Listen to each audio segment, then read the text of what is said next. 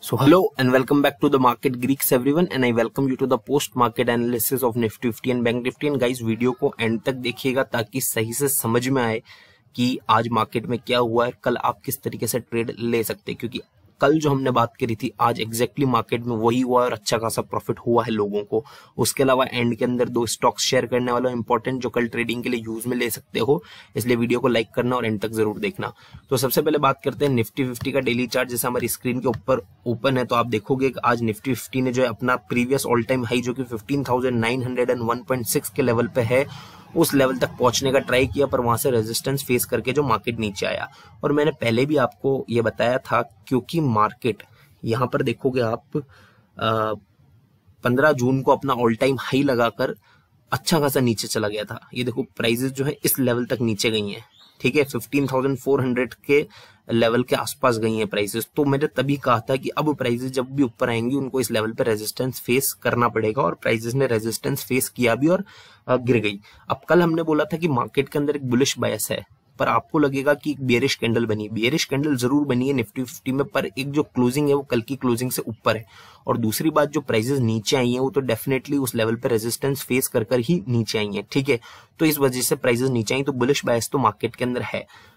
तो अब हम अगर बात करें कि इंट्रा डे के अंदर हम क्या कर सकते हैं तो इंट्रा डे के अंदर डेफिनेटली हमारे ट्रेडिंग के बहुत अच्छे लेवल लगे हुए और मैंने कल भी कहा था कि ट्रेडर्स को इसी तरीके का मार्केट पसंद होता है। ये ट्रेडर्स के लिए बेस्ट मार्केट है, जब मार्केट के अंदर इतने सारे लेवल्स लगे हुए और हम जस्ट उन लेवल पे बेस्ड ट्रेडिंग कर सकते हैं। कल मैंने क्या कहा कि मार्केट अगर ऊपर खुलता है तो तुम लॉन्ग जा सकते हो, पर एक चीज़ और साफ़ करी थी कि अगर मार्केट ज़्यादा ऊपर खुले गैप अप ओपनिंग ज़्यादा होगी, या गैप डाउन ओपनिंग भी ज़्यादा होगी तो मार्केट उस डायरेक्शन में फिर नहीं रहेगा। मार्केट नहीं रहा रेजिस्टेंस फेस करके नीचे आया। और ये लेवल तो हमारा रेजिस्टेंस वैसे ही मार्क्ड है। तो आई होप आप लोगों ने शॉर्ट किया होगा प्रॉफिट कमाया होगा। अब आज जो हमें क्लोजिंग मिली है क्लोजिंग देखो वापस जो है एक सपोर्ट लेवल पे मिली है तो वापस कल इजी ट्रेड है हमारे लिए। अगर प्राइसेस नीचे की तरफ़ तोड़ती हैं तो हम शॉर्ट कर सकते हैं नहीं तो ऊपर जा सकते हैं। मोस्ट प्रोबेबली मुझे लगता है कि एक बार वापस निफ्टी फिफ्टी ट्राई करेगा इस लेवल को टेस्ट करने का। ठीक है वो मेरा प्रडिक्शन है पर Uh, मैं अपने प्रिडिक्शन के हिसाब से नहीं जो मार्केट के अंदर हो रहा है एक्चुअल में उसके हिसाब से ही ट्रेड लेता हूँ। इंट्राडे या स्कैल्पिंग करते वक्त। तो अगर नीचे तोड़ा तो शॉर्ट करूँगा नहीं तोड़ा तो लॉन्ग करूँगा। ठीक है तो I hope clear simple strategy है ट्रेडिंग के लिए। अभी कोई ज़्यादा दिमाग लगाने की ज़रूरत भी नहीं है। Important levels mark down level पे बेस्ड ट्रेडिंग करनी है। मार्केट अच्छे से रिएक्ट भी कर रहा है उन लेवल्स पे तो हमें अच्छा प्रॉफिट हो रहा है। तो क्यों? तीसरी चीज़ हमें सोचनी है, ठीक है? बट हाँ डेली टाइम फ्रेम पे देखोगे तो डेफिनेटली बुलिश बायस जो है वो मेंटेन है अभी भी मार्केट के अंदर। अभी बुलिश बायस खत्म नहीं किया मार्केट ने निफ्टी फिफ्टी ने अपना।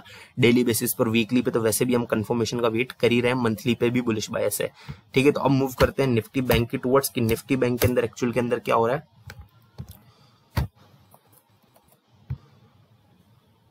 तो निफ्टी बैंक की अगर हम बात करें, यहाँ पर तो आप देखोगे कि निफ्टी बैंक भी जो है ऊपर पहुँचा। ये देखो, ये जो लेवल है, एक रेजिस्टेंस लेवल मार्क किया हुआ मैंने। ठीक है? इस लेवल के आसपास गया और यहाँ से वापस रिवर्ट हो गया, नीचे आ गया। क्यों रिवर्ट हो गया? लेवल आने से पहले ही क्यों रिवर्ट हो गया? क्यों उस लेवल तक नहीं गया बैंक निफ्टी क्योंकि निफ्टी फिफ्टी रिवर्ट हो चुका था। अगर निफ्टी फिफ्टी रिवर्ट हो गया तो बैंक निफ्टी को भी उसने पुल कर लिया डाउन साइड के अंदर। तो ये चीज़ ध्यान रखना, ये चीज़ होगी।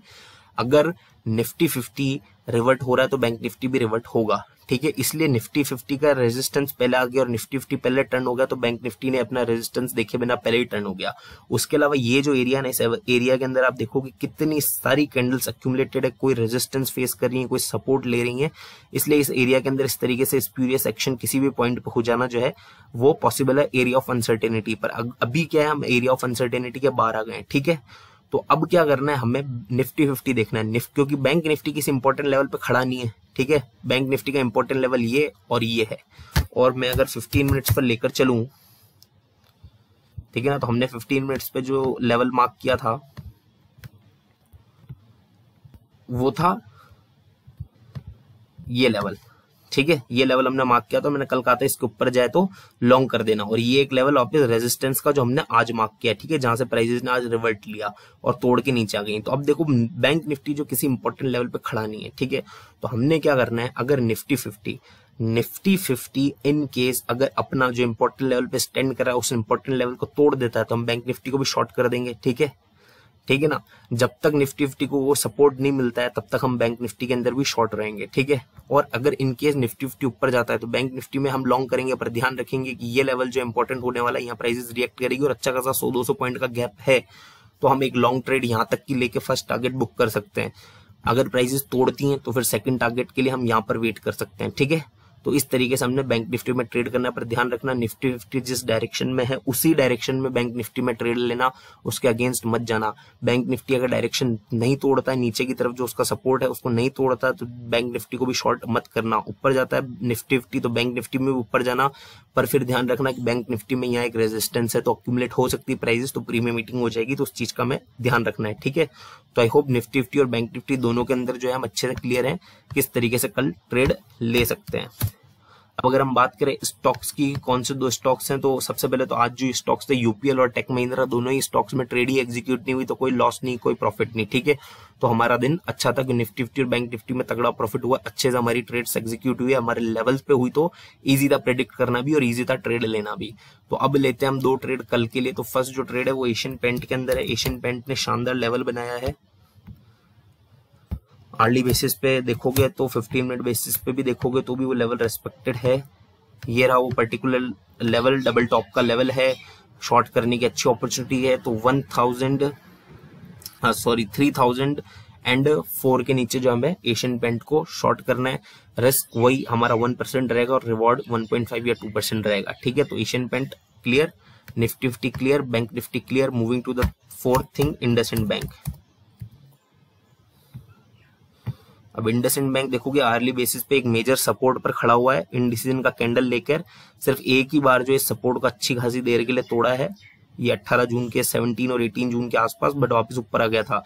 तो शॉर्ट करना थोड़ा सा खतरनाक है। ट्रेड रिस्की हो जाएगा।